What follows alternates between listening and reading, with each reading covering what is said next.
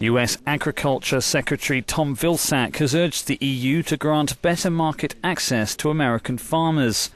Vilsack was in Brussels as part of a push by Washington to scrap existing trade barriers in the farming sector.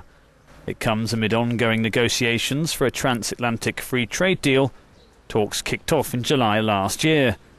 But differences remain between the EU and the US on issues such as genetically modified crops and chemically treated meats.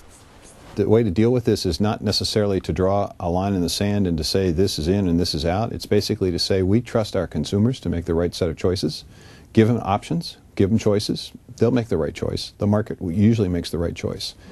The EU allows 50 of some 450 commercial GM strains to be imported into the bloc, but retailers are reluctant to stock such products due to customer resistance and health concerns. And Green MEPs and environmentalists worry an agreement could open the door to a flurry of legal challenges if countries decide to reject GM foods. The part strengthening the rights of multinational firms in the agreement could give them the ability to take countries to court which want to apply some precaution and refuse to cultivate GMOs. Negotiators hope to strike a free trade agreement at some point next year. It will then need to be approved by the European Parliament and the US Congress.